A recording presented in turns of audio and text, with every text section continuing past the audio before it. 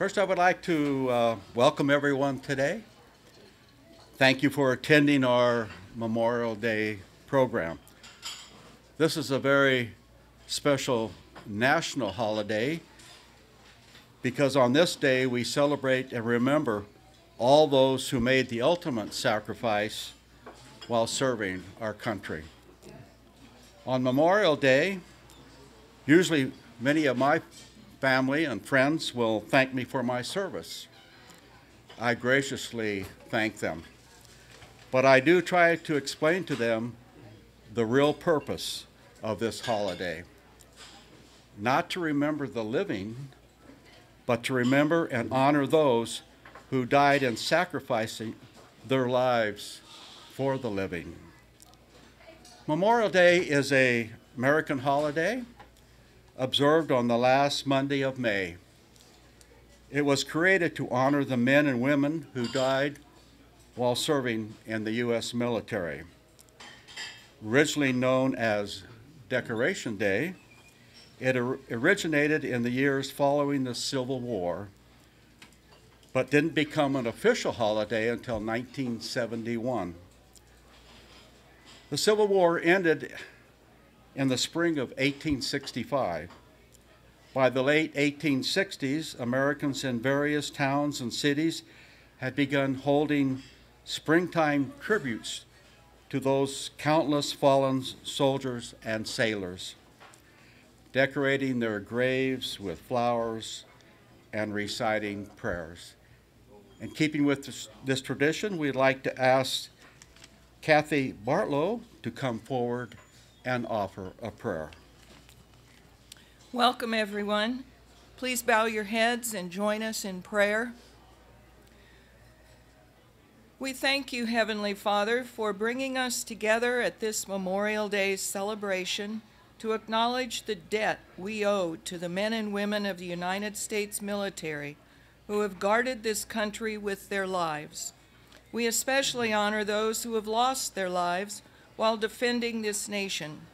They fought on land, at sea, and in the air, always with the understanding that they might not come back from the mission, and accepting that as part of the job. They were willing to risk death to protect this land, which we hold so dear, and the American people along with it. We thank them for their, serv- their service, their sacrifice, and promise that will carry on their legacy to ensure that they did not die in vain. Freedom is a gift and treasure. Although we may all agree with that truth, it's often easy to take for granted the greatest gifts that God has given us in our lives. Those most precious gifts are never free, however. They come with a price, with sacrifice. Many brave men and women have been willing to face hard battles in order for us to enjoy the gift of freedom today. John 15, 13 says, Greater love has no one than this, that he lay his life down for his friends. We remember them today. May God help us to live so courageously. May we follow the brave examples of those who have gone before us. Father, we ask for your blessing upon the souls of those good men and women who gave their last breath in defense of our nation, our freedom, and our children's future. We also ask you to bless everyone gathered here today and grant us the strength to rise to the challenges of our time and meet them in full faith that you will always be with us. On this Memorial Day, we pray that you would lead us toward a world where none must give their lives in pursuit of freedom. May we be receptive to your guidance, and may we never forget the fallen. Amen, and may God bless America.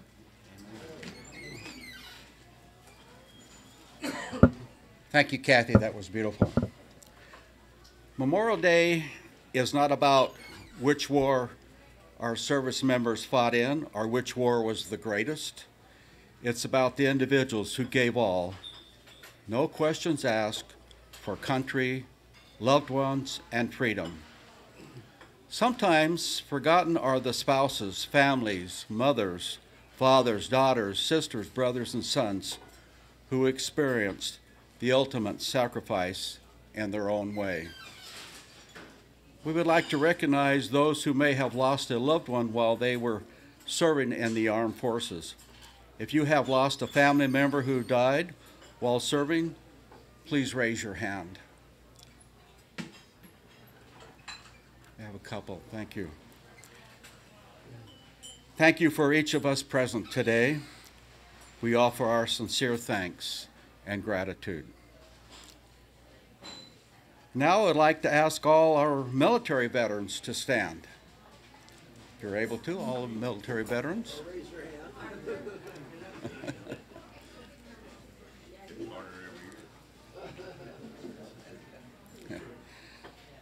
Thank you for your service and for being here.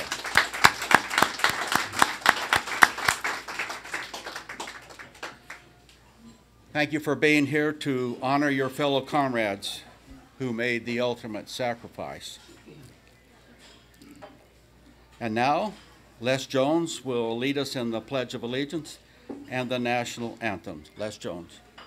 Now, now you know my name, and I've got a script. It's a short script, but I'm gonna typical of me. I'm gonna go off script for a minute, and I want to thank Dick Nations for putting this entire group together. Not just today's group, but the group of 34 veterans and non-veterans.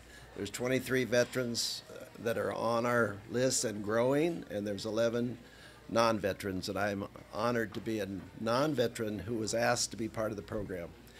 So with that, uh, please rise, remove your headdress, and face our flag.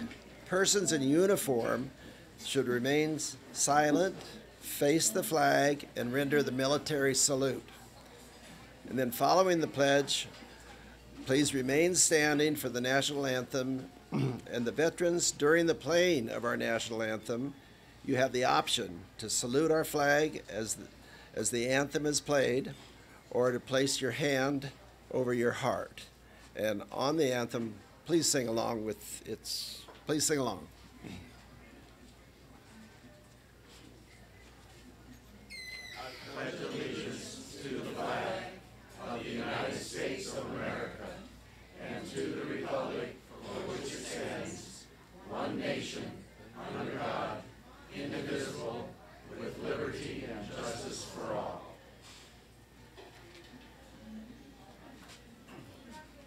There's a cue.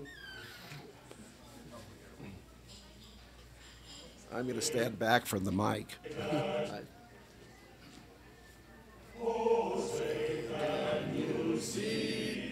By the dawn's early light, what so proudly we hailed the twilight's last gleaming, whose broad stripes and bright stars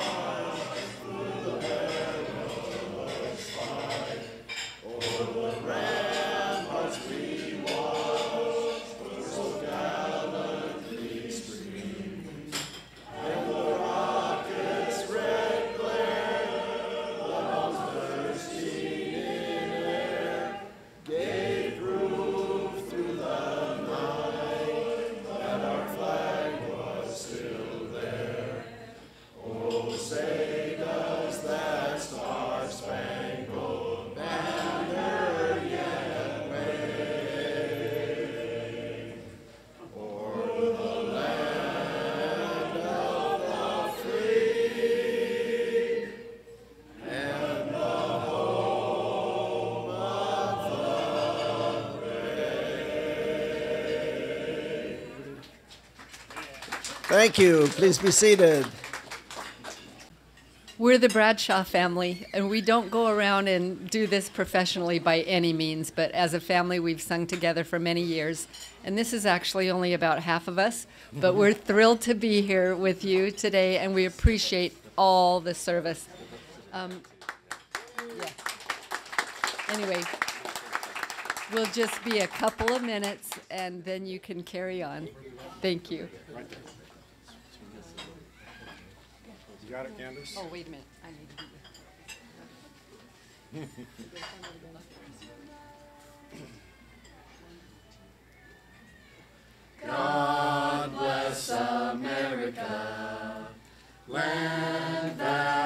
love. Stand beside her and guide her through the night with the light from above. From the mountains to the prairies to the oceans white with foam. God bless America, my home, sweet home. God bless America, land that I love. Stand beside her and guide her through the night with the light from above. From the mountains to the prairies to the oceans white with foam. God bless America, my home, sweet home. God bless America,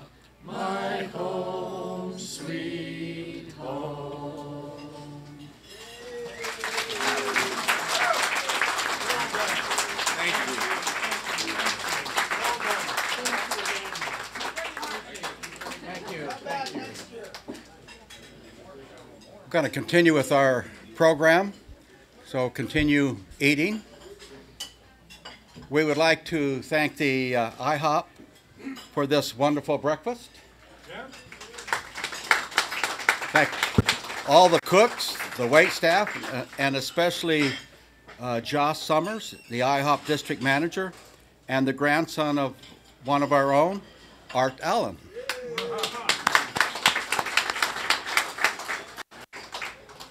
Okay, allow me to uh, introduce our speaker today. Command Sergeant Major Dick Nations, U.S. Army retired. Sergeant Major Nations proudly served a total of 26 years in both the active duty and reserves. His military training and assignments include heavy weapons infantryman, Army Special Service Expedition Skydiving Team, Armor Crewman, Armor Platoon Sergeant, Armor First Sergeant, Cavalry First Sergeant, Armor Battalion Command Sergeant Major. He is a graduate of the uh, U.S. Army Basic NCO Academy, Advanced NCO Academy, Senior NCO Academy, and the First Sergeant Academy and earned a Bachelor's of Science degree from Texas A&M University in Commerce. During his military career, Sergeant Major Nations earned the Legion of Merit Medal, the Meritorious Service Medal, twice awarded, and the Army Commendation Medal, also twice awarded, and the Texas Legislative Distinguished Service Medal, among numerous and other awards and citations. Dick and his wife Hank, right over here is Hank, have resided in the Las Palmas Grand for five years. Dick is an active participant in the LB, LPG's Red Friday Patriots group, who meet here at this restaurant every Friday morning, or yeah, every Friday morning for breakfast. Additionally, Dick and other Red members in our community are quite active in their attempt to document the military history of veterans living in Las Palmas Grand. I introduce Co- Command Sergeant Major Dick Nations.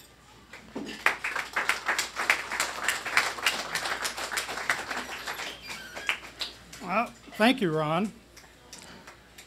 It's amazing. I, I would be interested to learn exactly where you got all those credentials today. Where did that come from? Who gave you that? Oh, good.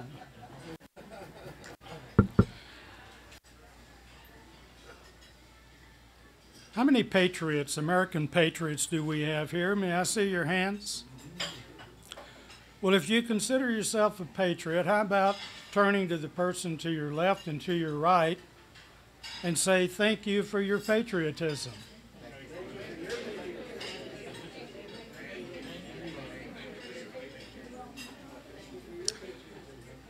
You know, I look out and I see both veterans and patriots all here to honor our fallen service members, and I could not be more proud. But for those whom we are here to honor today, be assured that they too would be proud that you're here to recognize their sacrifice.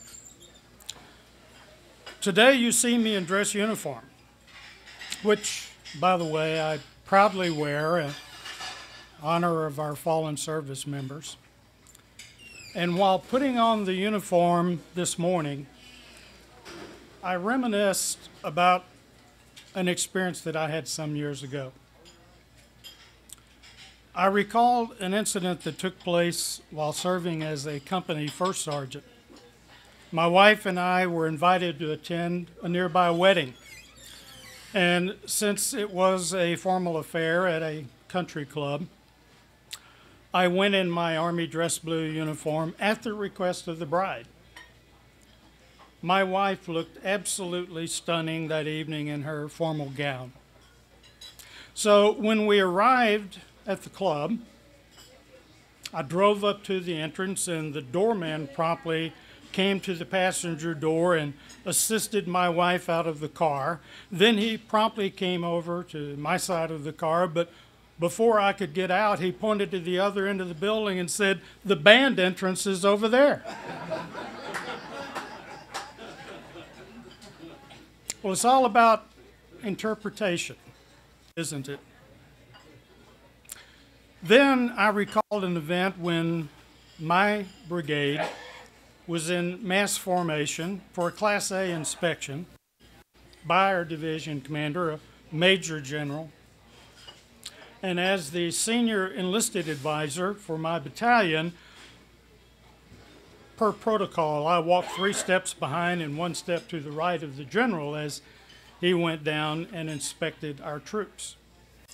So as he proceeded down the ranks, he would stop and ask some of the soldiers which outfit they were in. And standing tall, each soldier responded, Headquarters Company, 1st Tank, sir, or Bravo Company, 112th Armor, General. Well, then he walked up to this young private first class. And when the general asked, Which outfit are you in, private? he snapped and said, Sir, dress blues with medals, sir. it's all about interpretation, isn't it? So I ask, what is your interpretation of this holiday we call Memorial Day? Well, for countless families across the nation, Memorial Day is a stark and very painful reminder of those who were never afforded the opportunity to be honored as veterans for service to their country. Their sacrifice is a true expression of selfless service, one that no one would pick for themselves. Whether they volunteered during a time of war, served during peacetime, or never expected the nation's uniform until their draft arrived, they represent the best America has to offer heroes all. And that is the topic of my address to you today. Heroes all. Memorial Day is a day that commemorates all men and women who have died while serving in the military for the United States, not just those who died in combat. And for this Memorial Day, I decided to take a close look at the number of American service members who lost their lives in an effort to put their sacrifices into a broader perspective. I found the numbers to be startling. Since 1776, America has been involved in 93 wars or significant conflicts. War, in the context of the list of 93, is construed to be an armed conflict between organized U.S. military forces and organized forces of belligerents. In my research, I discovered an interesting statistic. Since 1776, the U.S. has experienced less, less than 20 years that were without an armed conflict having occurred during the course of any year. 225 of 245 years, would you have guessed? American war deaths have varied dramatically depending on the war they were volunteered for or being drafted to fight. Some of our service members fell to the enemy, many more fell to disease. Since the Revolutionary War, 650,000 American troops have died in battle, and more than 539,000 died from other non combat related causes. In the deadliest conflict, nearly 655,000 military personnel died. That was the toll during the U.S. Civil War. 2% of the country's population at that time. That's almost half of all American service members who have ever died during wartime. A review of America's more significant periods of conflict reveals that America lost 25,000 in the Revolutionary War, 13,000 in the Mexican American War, 655,000 in the Civil War, 116,000 in World War I, 405,000 in World War II, 36,000 in the Korean War, 58,000 in the Vietnam War, 7,000 and still counting in the Gulf War and the War on Terrorism. Add another 6,000 in other conflicts to include the War of 1812, the Indian Wars, and the Spanish American War, just to name a few. That's more than 1.3 million of our American soldiers Marines, sailors, airmen, and Coast Guardsmen who lost their lives during periods of war or conflict. Add to that staggering number of losses another 1.5 million wounded and 82,000 still missing or unaccounted for that may have been killed, wounded, captured, or executed. Startling? Yes. Upsetting? Yes. Terrifying? Yes. And frightening to think we are still at war and we are still losing our young men and women serving our armed forces. Today, we are fighting the longest war in our country's history Beginning January of 1991, the Gulf War, our service members have fought throughout the Middle East 20 years. Heroes all. Heroes all. You know, not long ago, most Americans were likely to know an active military service member. But today, because of factors like the political cost of launching a military draft and the increasing automation and outsourcing of military related tasks, fewer Americans have personal connection to someone in the armed forces. During World War II, about 12% of the total U.S. population were a part of the armed forces. So while fewer service members actually enlisted during the Vietnam War, the Vietnam conflict draft was felt across American society. Today, out of a nation of 329 million people, 1.3 million Americans are in active duty military, and another 1.1 million serve in the reserves and National Guard. That small figure influences the way the general public thinks or doesn't think about the human cost of conflict. Today, less than 1% of our total population has served in the armed forces. Less than 1%. So we have a disconnect in our society about what's going on in the military, who has served in the military, and what they experienced while serving in the military.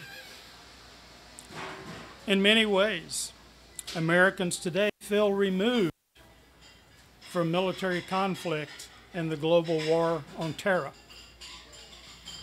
The war is over there. The war is over there. And the growing distance between Americans and the military has even changed the way we think and talk about the armed forces.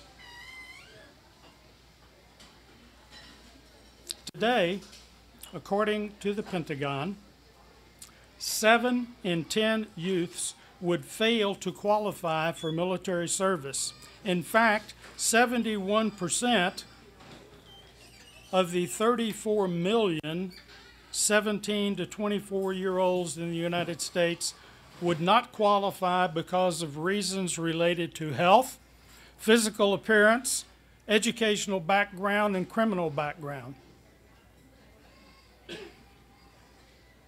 Only 1% of young people are both eligible and inclined to even hold a conversation with the military about possible service. That's according to the Defense Department. No wonder there is a disconnect. You know, after the Civil War, we were far from disengaged from the military. The war between the states and its terrible cost gave rise to new traditions and social norms in how citizens honored fallen soldiers. The casualty figures were so great, nearly every citizen was directly touched by the conflict. Families and friends of soldiers who lost their lives chose to honor the sacrifice of the fallen by spending a day decorating their graves. And decorating the graves of fallen soldiers was a long standing tradition, but the establishment of military cemeteries around the nation transformed that practice into more of a community event. In May of 1868, the first official Decoration Day was declared. And it was observed at Arlington National Cemetery. Volunteers decorated the graves of more than 20,000 Union and Confederate soldiers. And during World War II, Decoration Day was expanded and renamed Memorial Day to honor all Americans who died in military service. Now, for the second year in a row, Memorial Day looks a little different than in years past. In many cases, our backyard barbecues and get togethers are replaced by video chats and other marvels of modern technology. Still, we hold to some semblance of what life was and what we know it will return to. And the memories and emotions this day brings are always the same. So today, across America, to honor our fallen, we express our gratitude with gravesite visits, limited public addresses, limited community memorial services, and limited small gatherings of patriots and flag displays and poppies and prayers. My hope is that on this very special day, parents and guardians are taking a moment to educate their children about the importance of Memorial Day before they depart to the park or to the lake just to celebrate another holiday. Allow me to take you back in time, recent history, World War II era. Like to share with you a brief story of both tragedy and heroics. Often two do run parallel. Some of you may be familiar with the story of the Lost Battalion, which served in the European theater during World War II. This is not to be confused with the Lost Battalion of World War I. The Lost Battalion of World War II refers to the 1st Battalion, 141st Infantry Regiment, 36th Infantry Division. The 36th Infantry Division was originally the Texas National Guard. They were surrounded by German forces on 24 October 1944 in the French mountains near the German border. Against the advice of his senior officers, the division's commanding general committed the Texas Battalion to an engagement. The battalion was cut off by the Germans, and attempts by the 141st Infantry Regiment's other two battalions to extricate it failed. The 405th Fighter Squadron of the Army Air Corps airdropped supplies to the 275 trapped soldiers. Conditions on the ground quickly deteriorated as the Germans continued to repel U.S. forces. The final rescue attempt was made by the 442nd Regimental Combat Team, a segregated unit composed of second generation Japanese Americans. Let me repeat that. The 442nd Regimental Combat Team was a segregated unit composed of second generation Japanese Americans in five days of nonstop battle. From 26 to 30 October 1944, the 442nd Combat Team broke through the German defense and rescued 211 men. But the 442nd suffered over 800 casualties in doing so. India Company went in with 185 men, eight came out unhurt. Kilo Company engaged the enemy with 186 men, 169 were wounded or killed. Additionally, the commander sent a patrol of 50 men to find a way to attack a German roadblock and try to liberate the remainder of the trapped men, and only five returned to the perimeter. 42 were taken prisoners. And they were sent to Stalag 7 Alpha in Moosburg, Bavaria, where they remained until the POW camp was liberated in April of 1945. The 442nd Regimental Combat Team is the most decorated unit in U.S. military history for its size and length of combat service, with its component, the 100th Infantry Battalion, earning the nickname the Purple Heart Battalion due to the number of soldiers injured in combat. In a two year span, members of the 442nd earned more than 4,000 Purple Hearts and 4,000 Bronze Star medals. Heroes all. Heroes all. In the European, African, Middle Eastern theater, 21 Medals of Honor were earned by men from the 442nd Regimental Combat Team, the most of any regiment in the theater. Go for broke was the motto of the 442nd Regimental Combat Team. In 1962, Texas Governor John Connally made the veterans of the 442nd honorary Texans for their role in the rescue of the lost battalion. Three members of the 442nd, Barney Hajiro, James Okubo, and George Sakato, were awarded the Medal of Honor for their participation in the rescue. Although, due to the discrimination of that era, they were originally awarded lesser medals. But a review in the 1990s resulted in them being upgraded to the Medal of Honor, which the men received in year 2000, one of the recipients posthumously. Ladies and gentlemen, what I have just described is truly the epitome of heroics, bravery, sacrifice. This being only one of countless engagements during the course of American history where the toll in human life, our service members' lives, were not given in vain. Yes, national heroes emerge from American conflict. Highly decorated heroes.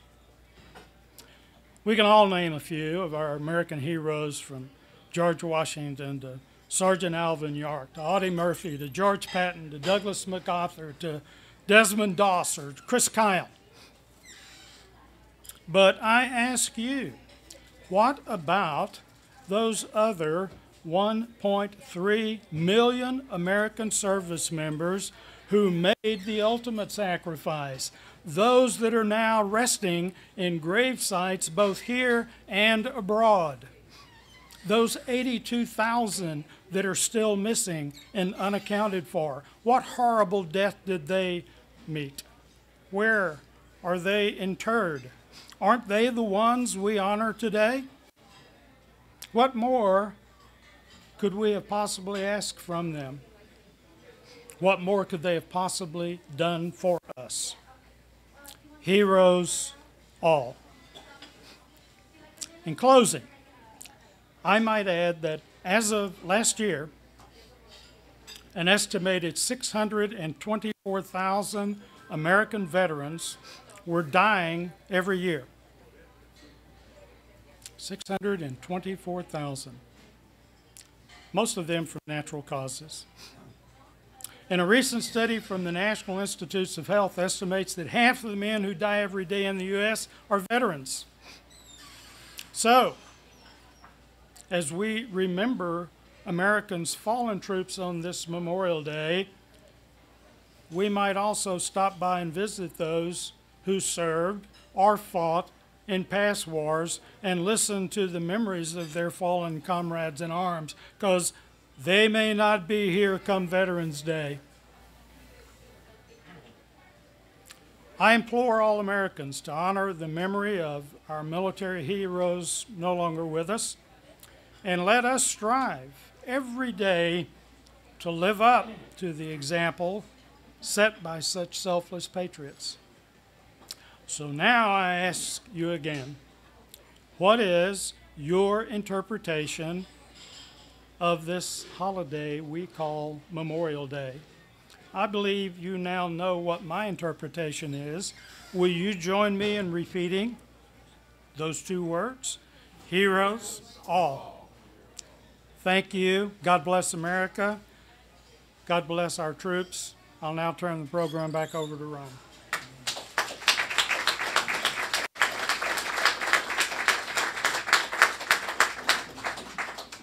Thank you, Dick. It was very inspiring. Um, go off the script a little bit. I'm going to read something that I saw on the internet on Facebook the other day. It said Armed Forces Day is for those still in uniform. Veterans Day for those who hung up their uniform. Memorial Day for those who never made it out of their uniforms. Um, Red Friday was mentioned earlier. RED, R E D, is an acronym for Remember Everyone Deployed. Say that again. Remember Everyone Deployed. RED. Red Friday was created to demonstrate that we are thinking of those deployed and that have our and that they have our full support. You may see many women and children across the country wearing red on Friday. The red shirts, scarves, jackets, and caps serve as a reminder of how important it is that we keep our deployed troops in our thoughts and prayers. Before we depart today, we wish to present you with a red poppy as our gift to each of you, a Memorial Day tradition. But just a few thoughts about poppies. From 1914 to 1918, World War I took a greater human toll than any previous conflict, with some 8.5 million casualties. The Great War, as it was then known, also ravaged the landscape of Western Europe, where most of the fierce, fiercest fighting took place. From the devastated landscape of the battlefields, the red poppy would grow.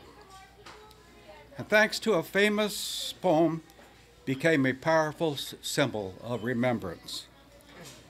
Struck by the sight of the red, bright red blooms on broken ground, Lieutenant John McCrae, a Canadian, saw the cluster of red poppies which he thought represented the blood that had been sacrificed for their li- for, for li- who had sacrificed their lives in these fields, and he wrote a poem entitled "In Flanders Field."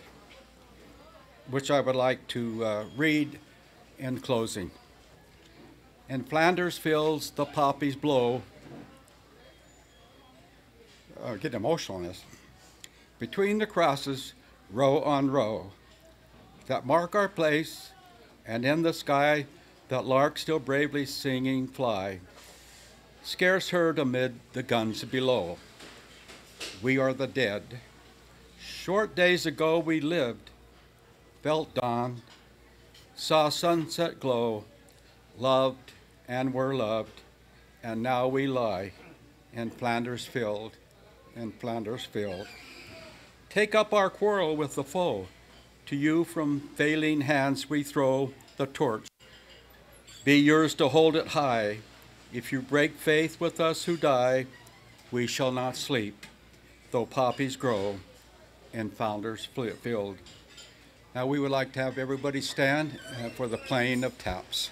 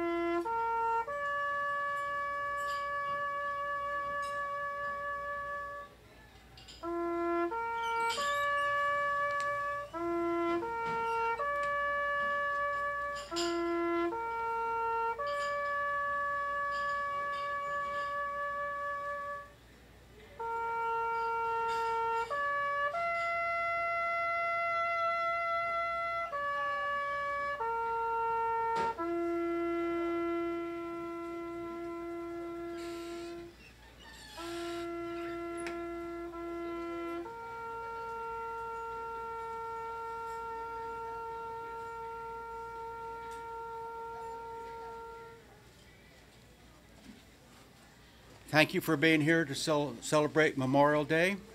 We'll, don't, please do not leave without your poppies. For those who are passing them out, we could do so now. Thank you all for your attendance, and uh, God bless you all.